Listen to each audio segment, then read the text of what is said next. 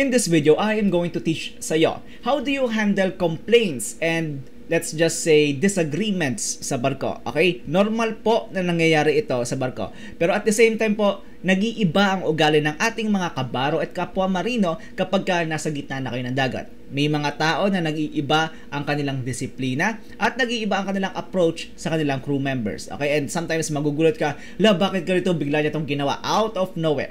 So in this video, I'm going to discuss sa iyo how to handle complaints. And also, other seafarers na you know, masama ang ugali. In this video, I'll teach you how. Okay? So, then again, when I was, you know, on board the ship, when I first started, you know, maraming mura, maraming mga negative words ang aking na-encounter. Pero, never naman po ako in my lifetime, okay, na nanakit na ibang tao. Okay, nakikipagsagutan ako. Okay, di ba? Nakikipagsalitaan din ako. Pero never po na ginawa ko na nanakit ako ng ibang tao. No. Okay? Kung mahal mo ang pamilya mo, okay, hindi hindi ka mananakit ng tao.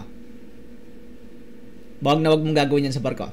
Okay, may proper tayo na proseso. I am going to share some uh, reports sa inyo. Netong uh, November 25, 2021, merong uh, isang captain ng isang Bangladeshi bulk carrier na uh, tinodas ng kanyang uh, chief cook sa loob ng kanyang cabin. Okay, basahin natin yung storya. Uh, Megna Liberty, a Bangladesh-flagged bulk carrier, witnessed a tragic incident on board after the master of the vessel was reportedly tinodas ng kanyang uh, cook aboard the vessel on Saturday, November 20 in the master's cabin in the Indian Ocean. Ayun, nasa gitna ng dagat ata to. Now, the unfortunate incident occurred while the 56,905 uh, deadweight bulk carrier uy, was on its way from South Africa's uh, Saldanha port to Haldia in India. But she had to call at the nearest port, the port of Louis in Mauritius, where the vessel arrived on November 22, owing to the uh, incident. It is being reported that both the cook and the ship's uh, master was found, you know, todas na, in the cabin lying in a pool of blood are of Filipino nationality. Naku po, Diyos ko, kapwa natin Pilipino ito. Okay? While extensive investigations to uncover the exact cause of the incident are underway. Okay, now, ito po ah, usually po kapag ka ang uh, uh, isang crew member is uh, nanakit na, Okay, especially sa kanyang superior. Okay, there's a very high chance na masama yung ugali ng superior. And may mga tao sa barko na hindi po marunong magtimpe. Now, remember po, sa barko, dalawang tao lang po ang may access sa kutsilyo. It's either si bosun or si chief cook. Sometimes si chief mate, okay? Pero sa consent lang ni bosun. Okay, syempre may mga operations na si chief mate sa, you know, kapag ka nagkakaroon ng deck inspection, naghanap ng mga job order, okay? Minsan pinaperam ni bosun si chief mate. Okay, pero for the most part po, pag normal yung operations ng ship, si chief, ah, sorry, si uh, bosun and si uh, chief cook ang may handle sa kutsilyo. Okay? So, ngayon, hindi ko alam kung talagang nasaksak ba ito or maybe may ginawa. Pero there's a very high chance talagang, you know, pwedeng uh, sharp weapon ang ginamit dito. And at the same time, eh, hindi ka naman sasaktan ng iyong crew kapag uh, you know ma- maayos ang iyong ugali. Now, meron po tayong proper way of, you know, handling complaints. I will discuss this shortly. Okay? I want to discuss this another report pa. Okay? Regarding sa isa pang official. Okay? Ito pa isa. Sinabi dito, ito ay ginawa noong October 23, 2021. Okay? Sinabi dito na ship's captain and chief officer binarel ng kanilang uh, uh, tercero official sa barko. Okay? Si uh, Carlos Lima, third officer on board chemical tanker uh, Ayane, murdered the master and the chief officer of the vessel during the late night hours of Saturday, October 22. After emptying the magazine of the revolver, the third officer then called up the uh, Ensenada, Ensenada Prefecture to report about the incident and surrendered consequently. Ayun, buti sumuko. Our sources report that Carlos, an Argentine national, possibly suffered a psychotic attack which provoked him to kill the superiors. The captain and the first officer are dead. Pinatay ko sila and I'm going to turn myself in. So I want a coast guard to come and arrest me. That's it. It's as simple as that, said Lima to the prefecture. The tragic incident occurred while the 16,000 deadweight Malta flag vessel was anchored at La Plata, anchorage in Rio de, Lama, Rio de Plata, Argentina, about 2 miles away from the coast. The incident is currently being investigated by a federal court in La Plata while the vessel is anchored on October 11, 2021. Okay, we're not gonna show yung katawan. All the crew, all the crew members on board the vessel who are calling the third officer by the nickname Crazy Lima are of Argentine nationality. The now deceased captain and chief officer of the vessel have been identified to be named Garcia PN1, Pegasano, respectively. Okay, pag magko-complaints po kayo, pa, manamang to, ito masasama ugali na itong mga to eh. Okay? Now, kahit po masama ang ugali ng inyo pong mga superior, okay? Kayo pong mga kabaro ko, okay? Mga kamate ko, okay? Kahit masama po ang ugali ng superior ninyo, okay? tiisin po ninyo yan para sa pamilya ninyo. Because isang kulong lang dito, isa, isang issue mo lang sa barko, hindi mo na kontrol ang iyong emosyon, makukulong ka, kawawa pamilya mo. Huwag ka masyadong madamot because na-hurt ang iyong ego. Okay, kaya nga po, bago po tayo sumampa sa barko sa mga maritime schools, nagkakaroon po ng military training. Uh, although technically military training talaga sa yung you, you know may mga ROTC and stuff or some schools have NSTP okay I mean that's you know a snippet of the military eh pero at the same time may military training Okay, may reason why kung bakit 'di ba tinetrain ka sa mga asaran, sa mga you know, yung nagkunyari kunyari ginugulpi kayo, 'di ba? O sinasanay yung katawan ninyo because stuff like this happens sa barko. Okay, pag sumampa ka na ng barko, wala nang kokontrol sa iyo. Okay, sarili mo dapat kontrolin mo. Eh, look what happens kapag ganyan. Eh, papatayin mo ang superior mo dahil masama ugali sa ito ha. Way back in the day, Okay, way back in the day, well, let me share a story din sa'yo. Nasa, na, namumura din ako sa barko. Remember, kadete pa lang ako, minumura ako ng uh, aking kapitan way back in the day. But, even though I was mad at the guy, I'm not even lying, mate, okay? Of course, mamumura ka, mapapaya ka sa ibang tao. Di ba? Even though, ganun ang naramdaman ko nung time na yun, no, I used that as a motivation to improve myself. Hence, I easily got promoted. Simple. Okay, wag tayong masyadong narcissistic. Dahil, ah, hindi, ako lang tama, ako lang tama. Okay? Tsaka habang bata ka pa, maaga na matututunan mo ito.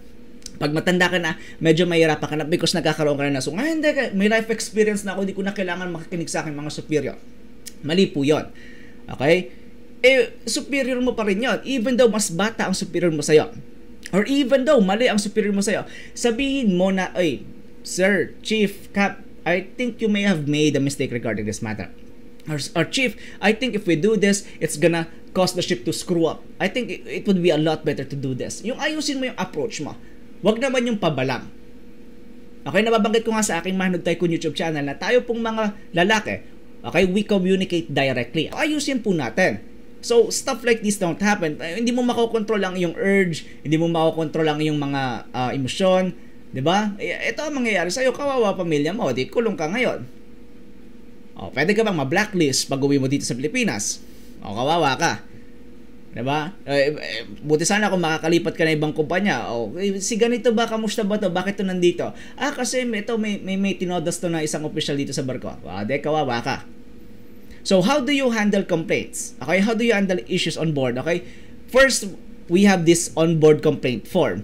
Okay? That's the, you know, the technical side.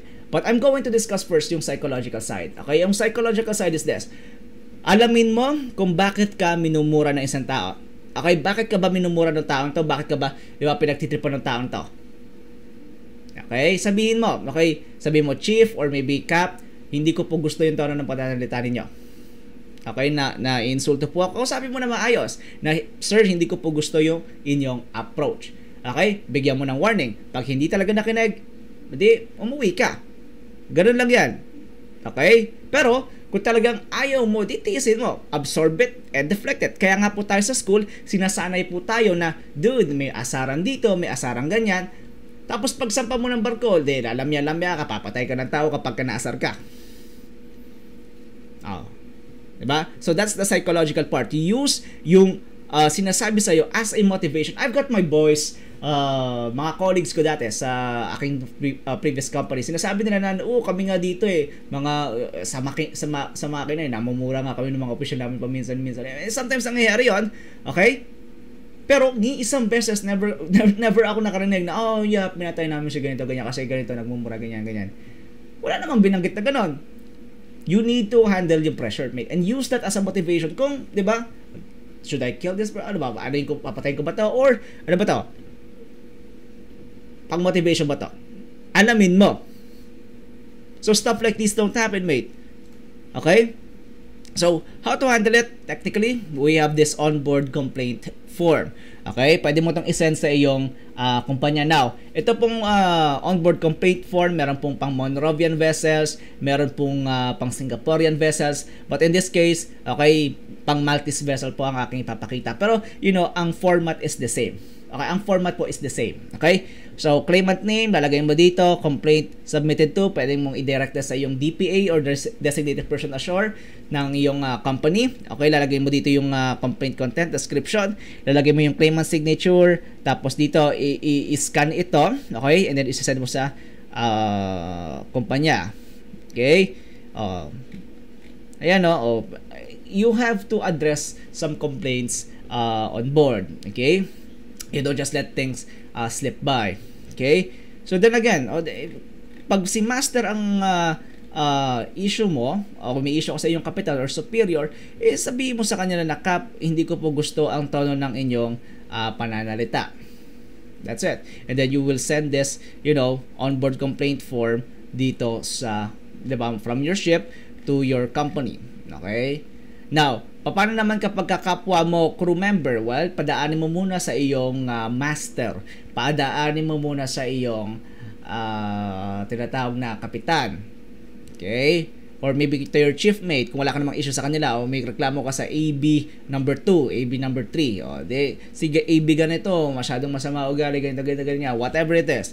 Okay? And then, di ba, mag-uusapan ninyo, conflict management Okay? Bago po kayo sumampa ng uh, barko, may mga in-house trainings po tayo. Depende, ewan ko po sa mga company ngayon, pero marami pong mga companies ngayon, di ba, tinitake down nila yung in-house trainings. Okay? Pero may mga handful pa rin, they have this conflict management courses.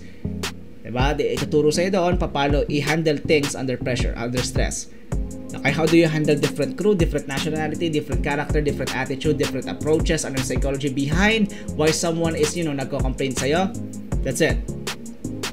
Okay? So then again po, sana po marami po kayong natutunan, okay? Uh, you have the technical and you have the psychological. Okay? So then again po, maraming maraming salamat po. So hope you learned something new. Be happy, be healthy, and most importantly, to God be all the glory. Keep safe.